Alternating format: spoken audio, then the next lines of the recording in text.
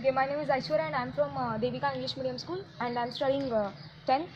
So I felt very happy uh, when this uh, sir told uh, all about the soft skills. Definitely I'll take the use of this.